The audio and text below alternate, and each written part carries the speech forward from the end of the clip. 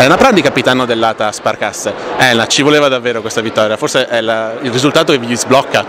Sì, dovevamo uscire da questo tunnel è, in cui siamo entrate di continue sconfitte, non eravamo sicure, continui errori, gli allenamenti andavano male, anche l'Under 18 che ha giocato martedì, le ragazze erano proprio abbattute, quindi ci voleva proprio una svolta.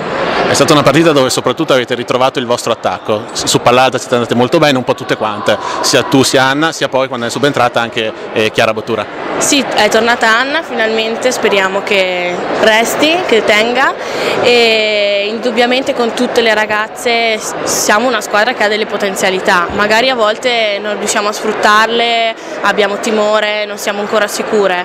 Pian piano sicuramente questa vittoria è un gradino che ci porterà su una lunga scala in cui avremo più sicurezze.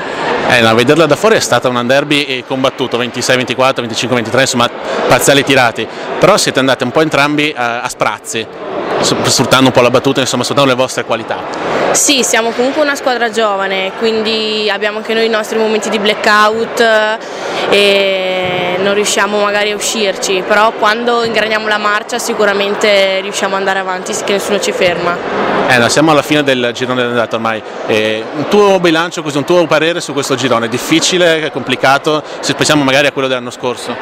Ma devo dire che le squadre più o meno un po' tutte se la giocano, pensare che Neruda è terzo in classifica insomma, e oggi l'abbiamo battuto nonostante noi siamo molto più indietro loro in classifica, secondo me sarà, ce, la, ce la giochiamo fino alla fine.